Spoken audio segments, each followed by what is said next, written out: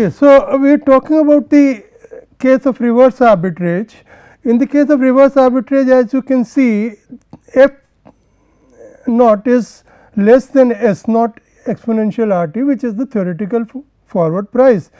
Now, because s naught is s naught exponential r t is greater therefore, what will happen? We sell it in the spot market and buy and replenish the asset in the forward market. Basically, this is the philosophy of reverse arbitrage. In other words, the important thing is that during the period from t equal to 0 to capital T, you are dispossessed of the possession of the asset. In the case of investment assets, this does not really does not matter too much to the investor. He is concerned with the returns from the investment, investment not from the physical possession of the asset. However, when you are holding an asset for consumption the situation is different. When you are holding an asset for consumption the objective is that you are going to use it for some purpose or the other which is aligned to either your personal use or for the purpose of your business. Uh, that being the case, that being the case the physical separation from a consumption asset becomes more significant than in the case of investment assets as a, as a result of which the process of reverse arbitrage which can operate without any inhibition, without any impediment in the case of investment assets may not so operate in the case of consumption assets. People may not be willing to pa uh, part with the physical possession of such assets, because they want to use it during the period of the forward contract and parting from uh, parting with these assets will uh, will obviously influence or be detrimental to their regular business operations that could be the case. As a result of which this reverse arbitrage phenomenon may not occur in many instances. Now, that being the case when reverse arbitrage is not likely to occur that means what? It follows that this inequality you see by the operation of reverse arbitrage this inequality is killed.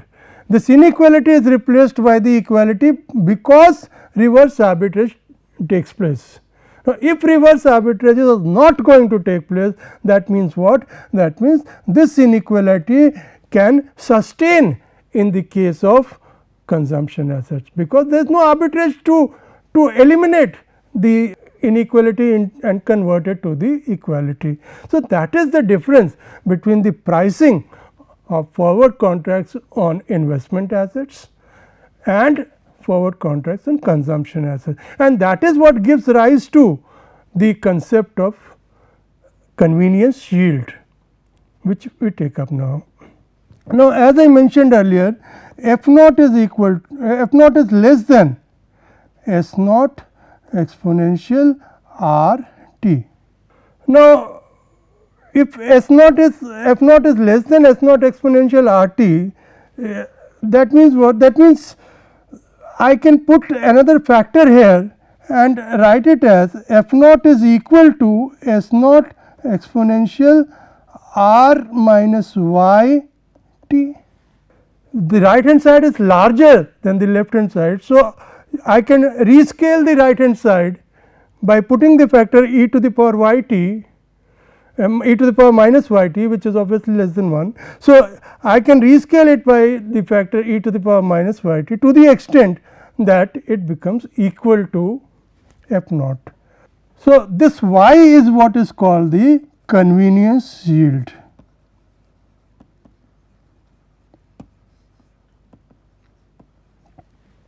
What is the significance of this?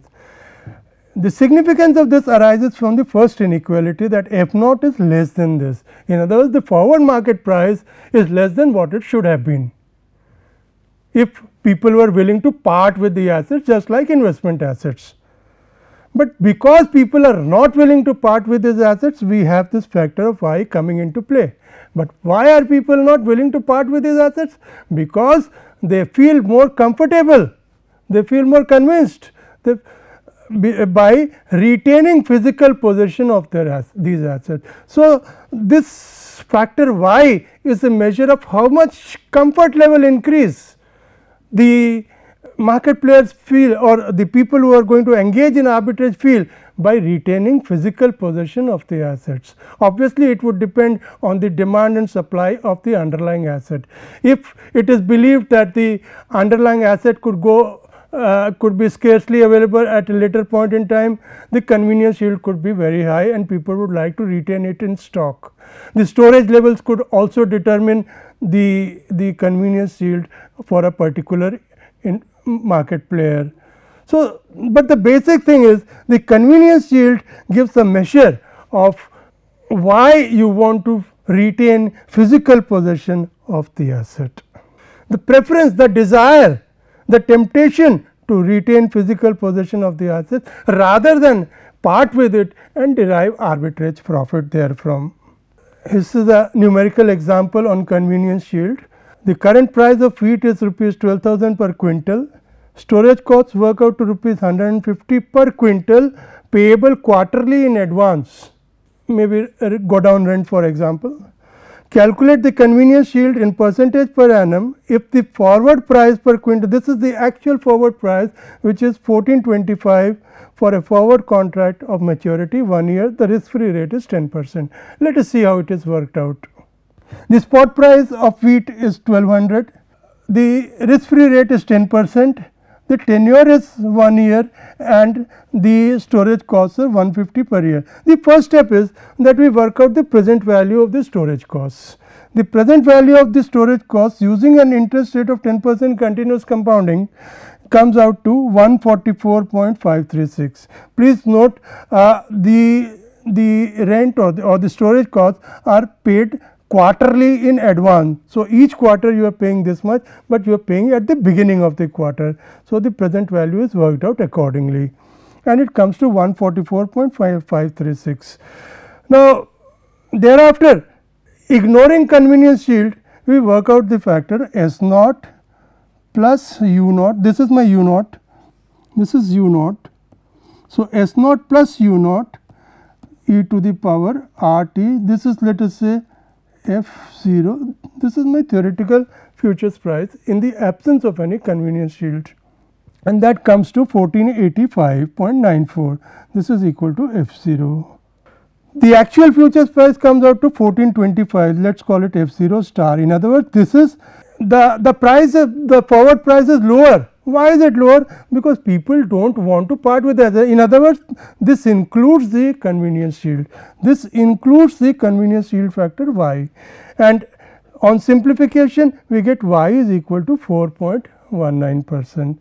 So, in other words the factor y of 4.19 percent is indicative of the desire, the temptation, the intention, the motivation of the of the market player to retain physical possession of the asset. And thereby because you want to keep the asset people want to retain the physical possession of the asset the forward price goes down. The forward market uh, uh, demand for the asset in the forward market reduces. People do not want to part with it and buy it in the forward market. They want to buy it in the spot market. That is that is the reason that the pricing of forward contracts is segregated in terms of investment assets and in terms of consumption assets. Now, we come to a very interesting problem valuing a forward after inception.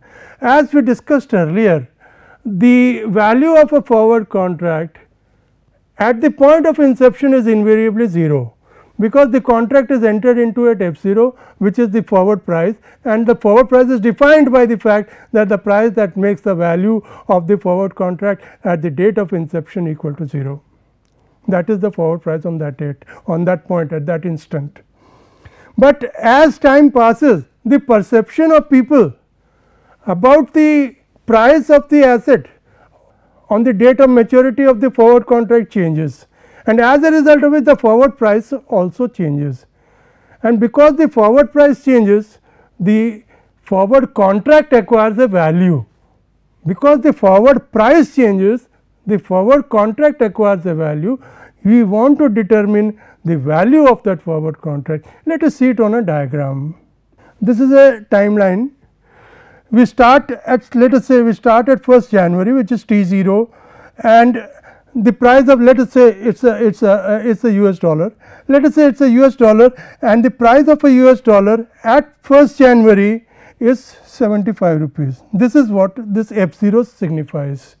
f 0 equal to 75 means if I want to buy US dollars fixing the price today for delivery at December 31st I will get it for 75 rupees. In other words, I will pay 75 rupees on 31st December, I will get 1 dollar, the agreement is here, there will be no change in the price whatever happens in between. I will I will get a dollar for 75 rupees at 31st of December. Now, time passes and perceptions change, we are living in a dynamic market, dynamic environment. On 1st April, I find that if now I want to buy a US dollar with delivery on 31st December, not one year, delivery on 31st December, say the, the delivery date is fixed, the period is not. The period is one year, it has come down to 9 months. The date remains 31st December. So, if I were to enter into a forward contract as on 1st April for delivery of the dollar on 31st December, I will have to pay 90 rupees per dollar. In other words, at in on 1st January, if I wanted uh, dollars on 31st December, I got it for 75 rupees. Now, if I want a do, uh, dollar on 31st December, the, the, the predetermined price or the price that is fixed as on April 1 is 90 rupees per dollar of course. The question is what is the value of Obviously, how do the two contracts differ? The two contracts differ in the context of the cash flow that is going to occur on the date of maturity that is 31st December. Suppose I take a long position in this the January contract that is I buy a dollar uh, under the forward contract on 31st and I take a short position in this in other words I deliver a dollar under the second contract then what do I get? I receive the dollar under the first contract under the contract A let us call it contract A, I receive a dollar under contract A and I deliver the dollar under contract B. What happens to the rupee side? So, the dollar side is annulled. I receive a dollar under contract A and I deliver a dollar under contract B. Do, uh, dollar side is cancelled, annulled. As far as rupees are concerned, when I re receive the dollar, I pay 75 rupees 31st December and when I deliver the dollar I receive 90 rupees. In other words I make a profit of 15 rupees, but that profit occurs on 31st December. So, what would be the value of this strategy going long in this and going short in this? The value of the strategy as on 31st December is 15 rupees. So, what is the value of the strategy at this point? The value of the strategy at this point is the present value of 15 rupees. And what is this 15 rupees? 15 value 15 rupees is the value of the forward price at 1st April minus value of the forward price as on 1st January. Present value present value at what point? Present value at T star that is 1st April. Present value at 1st April of 15 rupees which is which is nothing but the difference in the prices difference in the forward prices as on these two dates. In other words the value of this the value of this strategy what is the strategy long in this short in this long in this short in this. So, V a minus V b is equal to present value of this, but V b is what V b is the value of the forward contract on the date of inception which by definition is 0. So, V b is 0, V b is 0. Why? Because we are doing the valuation on the very date of inception of contract B and by definition we assume that the value of a forward contract on the date of inception is 0. So, V b is 0 in uh, value of the portfolio is equal to V a minus V b. So, V b being 0 V a is equal to present value of 15 which is equal to this. So, in other words the value of this contract value of this contract A which was entered into on 1st January value of contract A entered into on 1st January is equal to the present value of the difference in the forward prices. Value of the contract this T star is first uh, 1st April. So, value of the contract which was entered into on 1st January as on 1st April as on 1st April is equal to the difference in the forward prices and the present value of that. Present value on what date? Present value on the date of valuation which is 1st April. So, that is equal to when you simplify this you get the today's spot price that is 1st April spot price minus the present value of the original forward price present value of the original forward price present value at what point present value at t star which is 1st April which can be further simplified to this expression. Why? Because f 0 t is nothing but f 0 t is nothing but s 0 e to the power r t. So, if you put this here you get this expression. This is an example on 1st January 2018 the spot price of wheat was rupees 1200 per quintal. X took a long position in a forward contract with maturity of 9 months that means the delivery is 30th of September. The risk free rate was 24 percent with continuous compounding. However, on April 1 the spot price of wheat for the same quantity has increased to 14 percent per quintal, while the risk free rate remains unchanged that is 24 percent. Calculate the value of the original contract, this contract 1st January contract as on 1st April. So, these are the two prices. This is the future value of the January price, future value of this quantity which is this and the current price is this. So, future current price this is S t star and this is S naught e to the power r t star and, and this expression this this is S naught this is S naught. So, S t star minus the future value of this S naught e to the power r t star gives you this value as the value of the contract as on April 1 this formula this formula S t star minus S naught e to the power r t star r t star is the interval between the original contract and the date of valuation. This is a slightly more involved question. On 1st April 2018, a stock was expected to pay a dividend of 2010 2 rupees 10 paisa eh, per share in 2 months and in 5 months. The stock price as on date was 50 rupees and the risk free rate was 24 percent with continuous compounding. Investor had taken a short position in a 6 month forward contract on this date.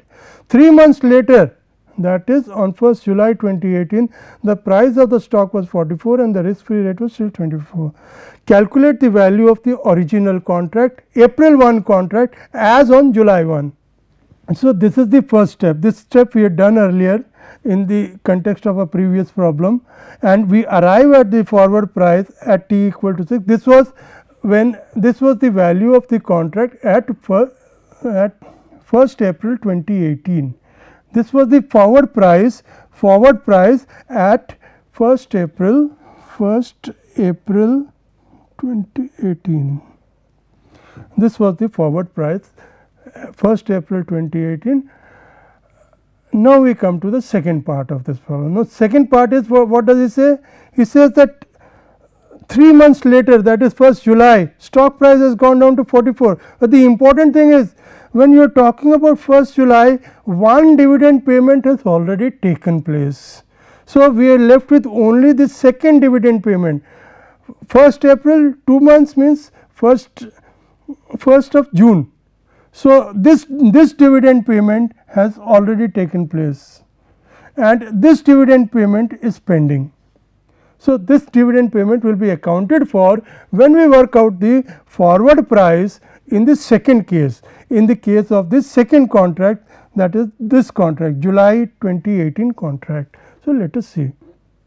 Now, we have got only one dividend payment this one this is the only dividend payment and this is occurring at 2 months from now the, the you see the total period was 6 months there was a dividend period at the end of 2 months there was a dividend period at the end of 5 months and we are now at 3 months. So, the remaining period is 2 months this is 2 months. So, the discounting is uh, done for 2 months the dividend is 2.10. So, the discounted value of dividend comes to this much. The current stock price has gone down, the current stock price has gone down from 50 to 44. For 50 to 44 this is the present value of dividend payment. So, the net net stock price is 41.98 that is 44 minus 2.0177 this is the present value of dividend this is d 0 this is uh, this is S 0. So, S 0 minus D 0 is this and then therefore, the forward price now how much uh, period is remaining we are having just the 1 month now. So, the forward price at t equal to 6 comes to 44.5784. So, what is the difference between the two prices? What was the earlier price? The earlier price was 51.9575 51.9575 this was the original price. Uh, original price that was on 1st April.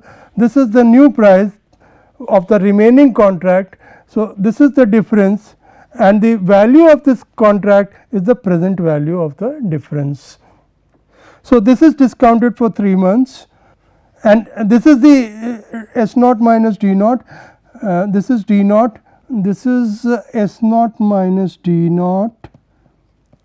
Forward price at t equal to this, is for 3 months, uh, forward price 54 for this into future value of 41.98 for 3 months.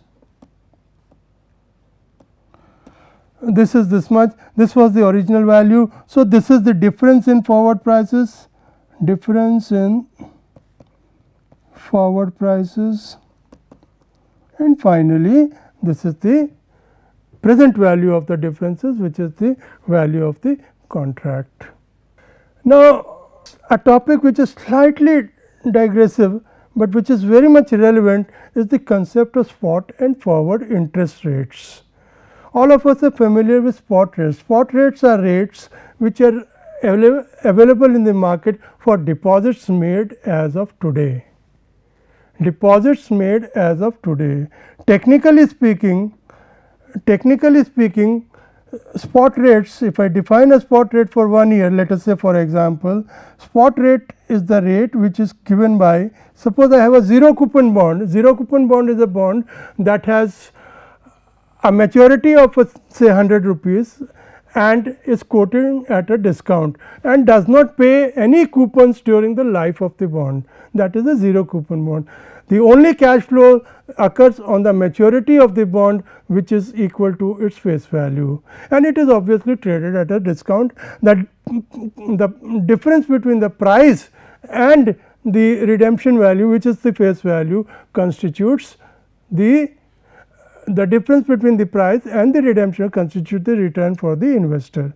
So, if today's price of uh, say 1 year bond P 0 comma for a 1 year bond is equal to then it can be written as f upon 1 plus S 0 1 where S 0 1 is the spot rate embedded in this price.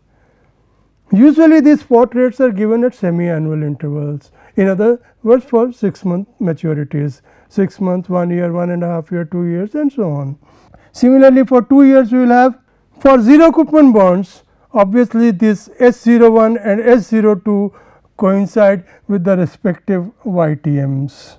The yield to maturities and these spot rates coincide. In other words, we can define we can define the spot rates we can define the spot rates as the YTMs on loans that pay only one cash flow on the maturity of the instrument and are quoted at a discount. There is no coupon payment during the life of the instrument. That these are spot rates. These are rates which are available when you make a deposit as of today for a loan extending to the future. Compare this with the forward rate concept.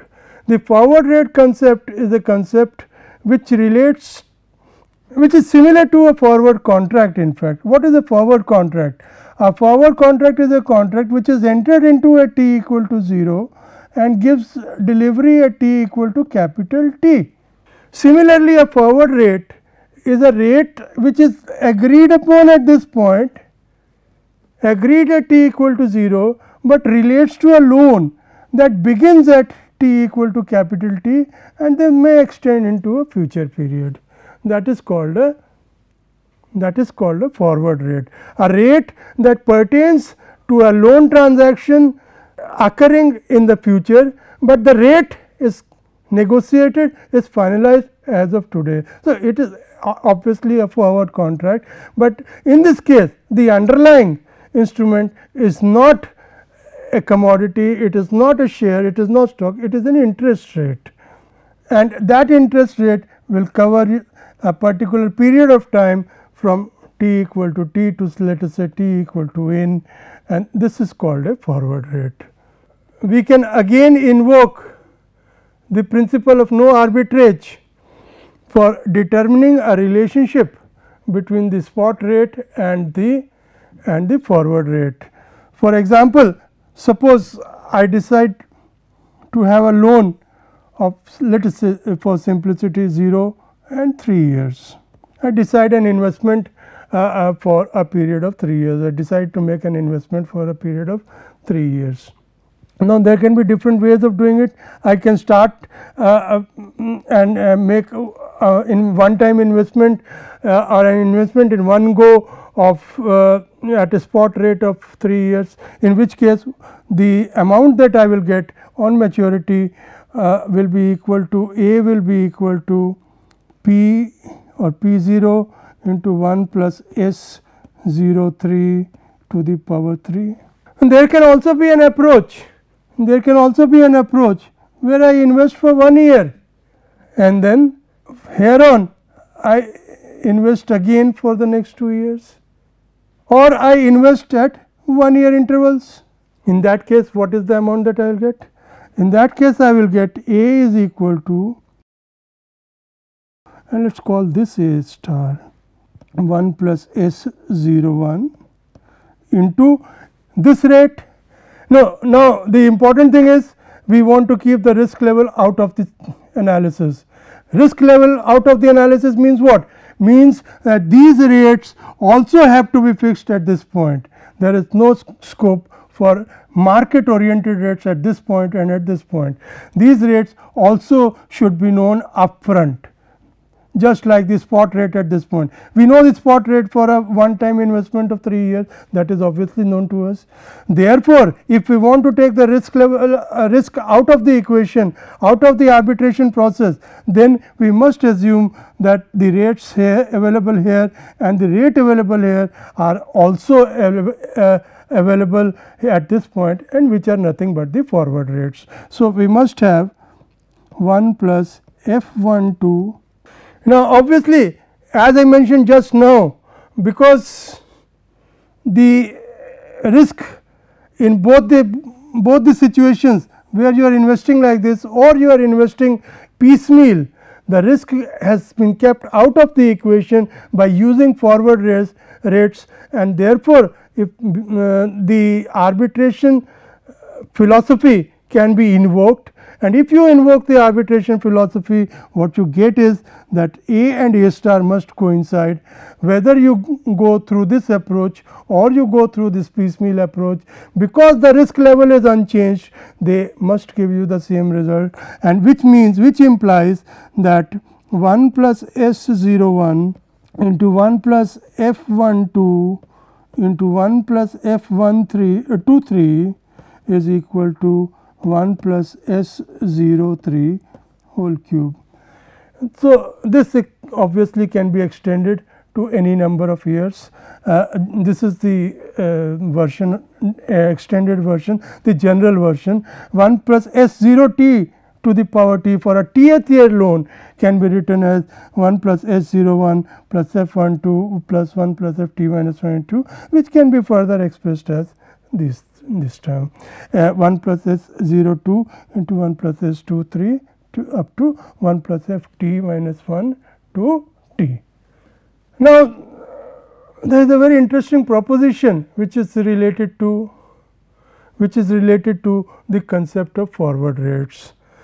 Now, if the actual rates evolve according to the forward rate curve, we have a forward rate curve depicting as of today what are the forward rates projecting for different maturities for a maturity of 1 year, maturity of 2 years and so on we have different rates which are projected in a graphical manner which is called the forward rate curve. If the actual rates evolve according to the forward rate curve then it does not make any difference your pattern of investment does not make any difference. In other words if you buy long term bonds that is you invest today for maturity over a long period of time uh, over the desired period of time let us say t years then you buy uh, you make an investment in one go in a in a bond of maturity t or you make investments at the end of every year or every half year uh, at the at the at the uh, relevant rates which which is which are assumed to follow the forward rate curve. In that situation the investor is equally well off in both the alternatives. The proof is quite simple and let us look at it. Now, if you invest in one bond uh, at on a rolling basis uh, on a rolling basis if you invest P 0 amount then what you get is P 0 into 1 plus F 0 1 this is reinvested again uh, into 1 plus F 1 2 into 1 plus up to F this is if you are investing on a rolling basis.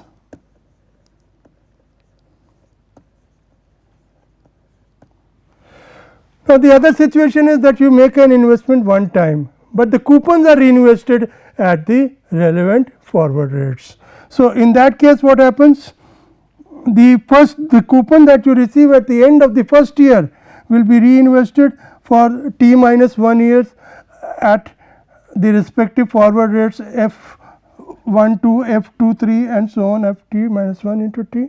The coupon that you receive at the end of the second year will be reinvested at f 2 3 and then 3 4 3 4 f t minus 20 and so on the final coupon will obviously not be reinvested. Uh, simplifying this expression if I take this expression outside the brackets we have this expression within brackets and and this expression is nothing but 1 plus s 0 1. This expression if you recall 1 plus f 0 1 into 1 plus f 1 2 is nothing but 1 plus s 0 2 whole square and similarly this expression is nothing but 1 plus s 0 t to the power t. So, the entire thing this entire thing is nothing but p naught. So, we have this here and this whole thing is nothing but p naught. Therefore, this, this is 1 and this is 2 and they are coinciding. Thank you.